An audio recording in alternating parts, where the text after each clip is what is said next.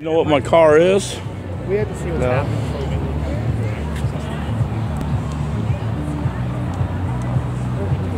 The Prius on the far side of the last car. White Prius.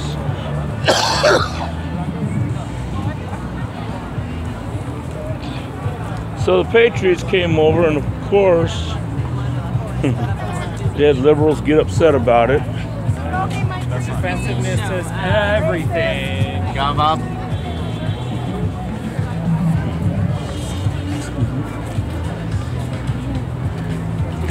like a mix.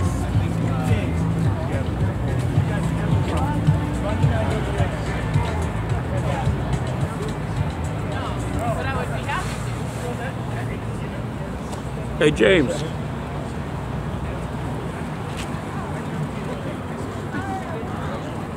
Hi everyone. Everyone, can you hear me really quick? Hi, so we have we have some brothers and sisters here who want to talk to us. So let's just all be good neighbors. Let's just treat them with respect, treat them with love, um, and let them know that you know we're here, making our voices heard. They're welcome to stay and listen, and uh, we appreciate their presence. So, so yeah, thank you. That's news to me. Huh? We'll get started He said we appreciate their presence. Yeah, And we're talking about the. Uh, I know. I don't appreciate the presence.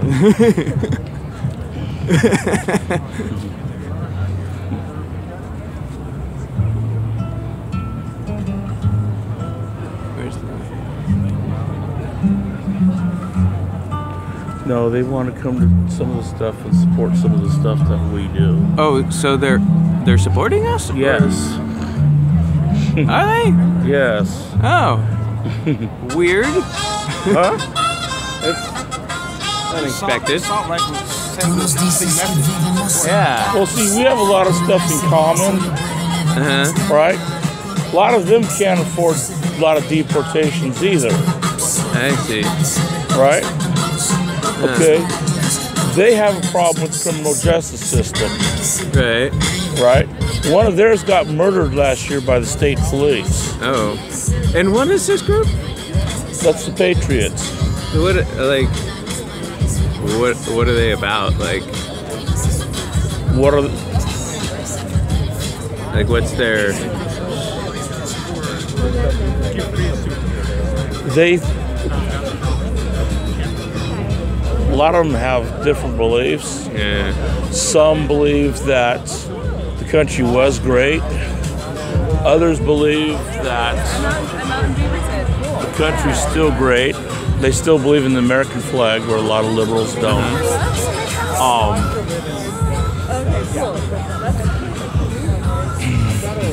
they have a problem with the housing problems. Huh. I mean, we have a lot in common, but there's So a lot. like moderates. Yeah. Basically. there's a lot we don't have in common. Like, for instance, the liberals Okay. don't believe in the Second Amendment. They do. Yeah. A lot of liberals don't believe in rights to own property. They do. Oh, okay. Well, let me go tell the group. Yeah, all, They're actually.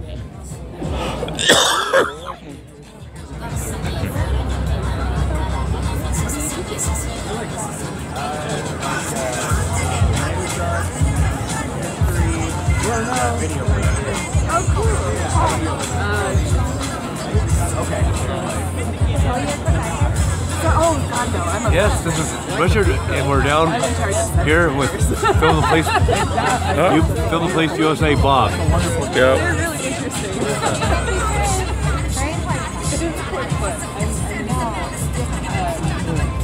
Also, when I got out of jail, they had hot chocolate and cookies for me. What the Patriots do? Yeah. Oh, sweet. Every once in a while, they'll come out and do a protest and they'll cook up hamburgers and give them to people and stuff like that. All right. Cool. Yeah. So they're not bad. No. Okay. Okay. They're not bad. Well, I mean,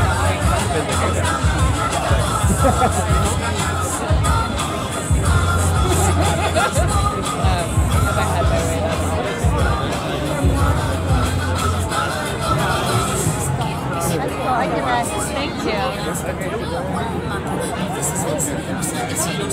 you.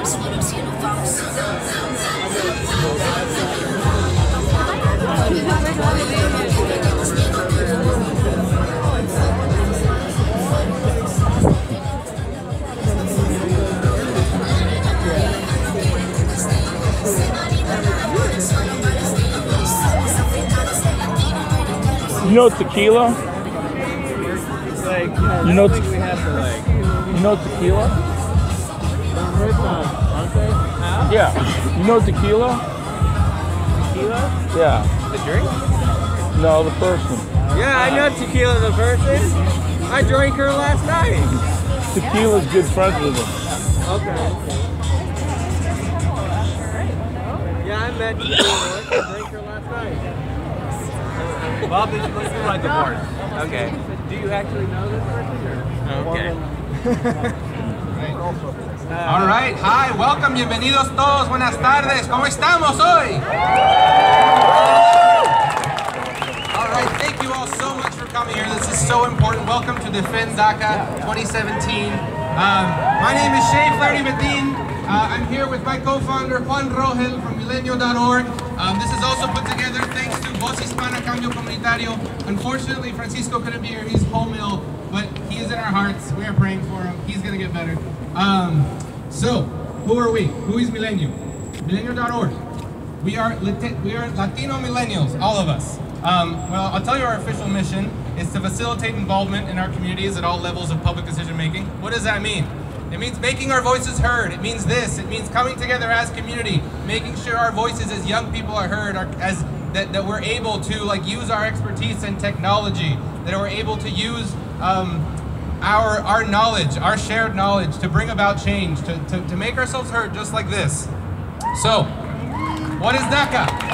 Why are we here? For those of you don't know, it's Deferred Action for Childhood Arrivals. What does DACA do in our communities? Well, we know we probably have a friend, we probably have uh, neighbors, uh, family that are, that are recipients, and we know that across the country, participants of DACA are, are seeing huge benefits and, and benefiting this society immensely. We've seen increased job participation. The effect on the labor force has been tremendous. We've seen families and young people that previously couldn't, being able to take out IDs, to get licenses, having increased opportunity to access education. Um, we've seen people buy their first cars. We've seen people go to college. We've seen earnings in low-income families expand dramatically. So we know DACA is a success. We know it's a great program. So, we've heard Trump say offhandedly, we've, we've heard a lot of things from Mr. Trump, but uh, we've heard him say offhandedly, you know what, we're, we're going to keep DACA. He said it kind of, that's not the way you talk about DACA, but he says we're going to keep DACA. Um, so, I don't know whether or not we can take his, his word on that and his administration's word on that. Um, we've already seen across this country at least two processing arrests and possible deportations of DACA recipients. These are young men, peaceful, law-abiding, um, who are going through the program, and we've seen we've seen them detained. Um, we've seen him say that he's going to, you know, lock up and process and deport bad bad hombres, quote unquote, as if that's a way to speak about our communities.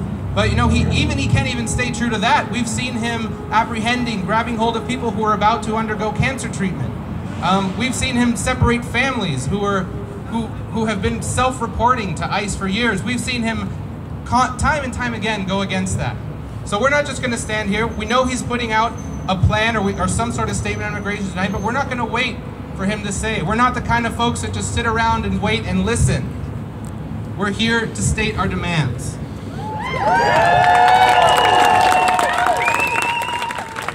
So, we've got a great lineup of speakers tonight. Once again, we appreciate you all for coming. Um, and we're going to start that off with Brenda Ramirez. She's a Milenio.org organizer, and she's also a DACA recipient. And so we appreciate her bravery. We appreciate um, her coming up in front of all you. And once again, thank you all for coming. Stay tuned. Um, and, Uh, and yeah, let's, let's enjoy way. tonight. Hi, This is, this is Bob. Bob. Oh, nice to meet you. Sorry, I kind of got a cold. I'm gonna reach out to you this week. I Huh? want, I want to sit down with you and reach out to you this week. Okay. Is that cool? For this cause, Word. I see you to Saturday. us stand for immigrant Uh, rights yeah, on the fourth. and to help Yeah. fight for our rights as human I beings. couldn't miss that. Because yes, we're immigrant, but we're human. We're not aliens like many people tell us. So my name is Brenda Ramirez, and yes, I'm an immigrant. My parents brought me to this country when I was only four years old. I did not speak or understand any English, but I learned it and now it is my language as well. When I was little, I dreamed of becoming a teacher or a doctor. I was always a straight A student. But when I got to high school, everything changed. I started skipping class and not caring at all about my grades. Because I started getting information that since I was not legal in this country, I would not be able to get help to pay for college. I loved school. I loved to learn, and I still had my dream of being someone in life one day. I still had the dream of having a good paying job and being able to give my parents and siblings a better life. But most of all, I knew I wanted to go to school to make all of my parents' sacrifices worth it. They left family members, their home, their country, where they grew up. So I had to do my best to not disappoint them. Rather, make them proud and for them to know that everything they did to come to the United States had paid off. But I felt lost. I felt devastated. I knew I was smart and had the capacity to be anything I wanted to be. So why did my immigration status matter? Why did nine numbers have to determine if I could go to college or not? Then came my summer before starting junior year, and I saw on the news that this Hispanic girl had gotten deported on the day of her high school graduation. that broke my heart. It made me realize how stupid I had been that whole time. That is what ICE wants. That is what racist people want. And now that is what Donald Trump wants. That is why I pulled myself together, signed up for AP classes, became president of the Latino Club. Woo! And was involved in encouraging Hispanics and students oh, Hey, what's up? How long are you? How long are you out? What, what the hell? I was out, what, four hours later. Or they called Oregon City when they arrested me, and Oregon City said they didn't want me. Or Clackamas said they didn't want me. So they just held me. So I got no support when I got out except the Bundys. They were holding a protest over there, and they had hot chocolate and cookies. Each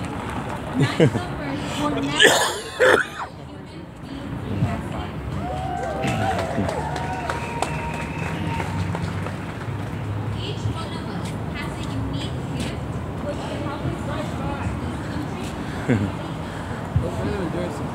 this country. Hey Jeff, This is like their second second time driving around here, and they they Yeah. walked through twice earlier. he's he's he's taking video with his computer. oh, cool. Yeah.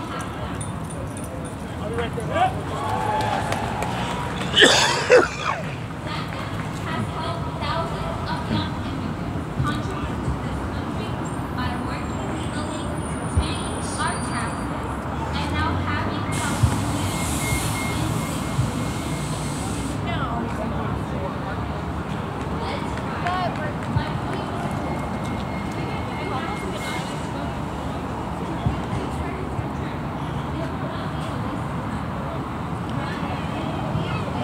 show others that we are not creatures or human beings who deserve opportunity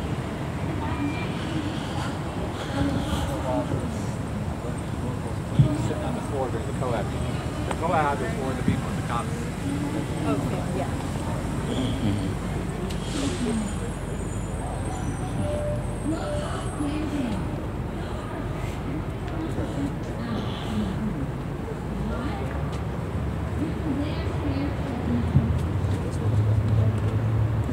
Having Hey, bullhorn Bob, how you doing, problems? All right, how you doing?